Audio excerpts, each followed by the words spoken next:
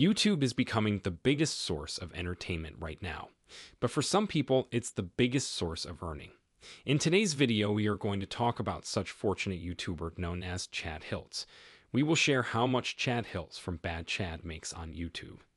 Before we tell you that, let's understand how YouTubers can make money online. Most of them make money through AdSense, but there are other options as well like affiliate marketing and super chat. The major factor that contributes to their AdSense earning is called CPM, also known as cost per mil.